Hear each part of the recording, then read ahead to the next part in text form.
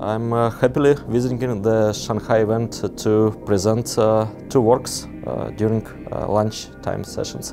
Uh, so the first work uh, we already have presented just one week ago in New York during Real World Crypto event is a joint work with Leonid Reyzin of Boston University and our another guy, Dmitry Meshkov, named Improving Authenticated dynamic dictionaries with applications to cryptocurrencies.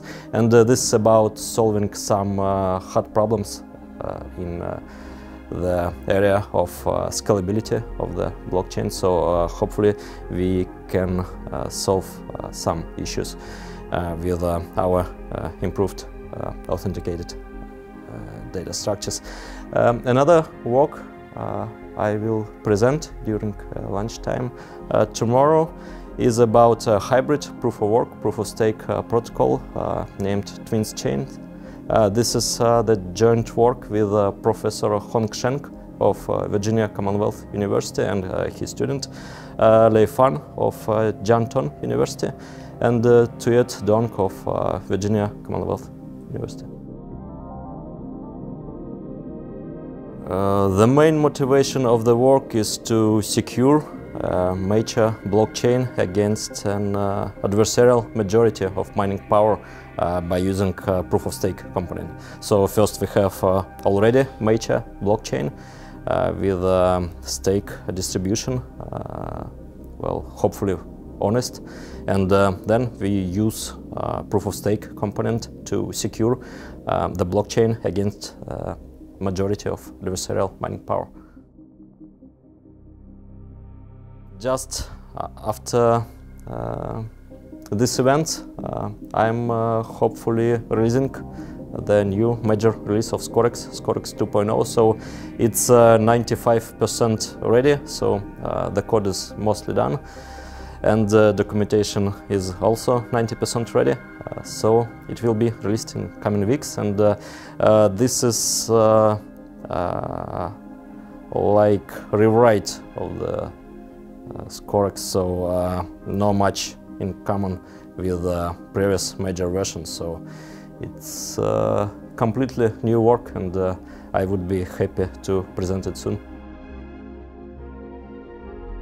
Uh, so it's a totally different uh, architecture and uh, now it supports a broad range of designs, so not only blockchains but tree structures and more complex uh, structures of uh, history. In a uh, well now not a blockchain but a block somewhat system and um, uh, it is also about a better support of uh, uh, hybrid systems like proof of work, proof of stake. So our reference twins chain implementation is done on top of uh, Scorex 2.0 and uh, well it was done very efficiently so uh, hopefully it would be a good example of how Scorex 2.0 is useful in fast prototyping. Idea of um, our work on uh, improving authenticated dynamic dictionaries is um, in the first place uh, to develop uh, data structure working in a two-party model. Uh, so uh, usually most of work in authenticated data structures is assuming uh, three-party model where we have some trusted broker and we don't have any trusted broker in cryptocurrency. So um, we have only a prover and verifier and a prover, which is a miner is generating proofs and then verifier is able to get a new root hash from just uh, proofs. So uh, without uh, holding the whole data structure. And um, also we spend a lot of time counting uh, each byte in our proofs. So you know, uh, the space is very limited uh, in the blockchain, so uh, we uh, produced a lot of efforts to compress our proofs and uh, we uh, made a new kind of compression. So batch compression when we are combining multiple proofs into a single batch proofs. Uh, so uh, this is about a significant improvement, uh, much better than you can do with just simple G-zipping of proofs or, well, whatever compression. The main application we intended our work for is uh, uh, to authenticate uh, the whole state of cryptocurrency because well other solutions are whether inefficient or just not suitable for a cryptocurrency setting uh, to authenticate uh, the whole state. So um, our solution is uh, dynamic, so authenticated data structure is modifiable.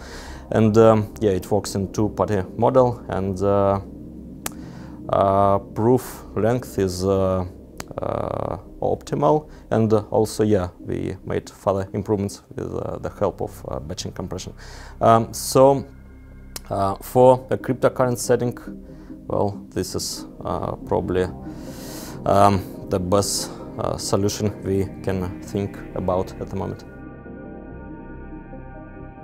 For example, in Bitcoin, this is um, about a set of unspent outputs. So um, a state is uh, something uh, enough to validate an arbitrary transaction.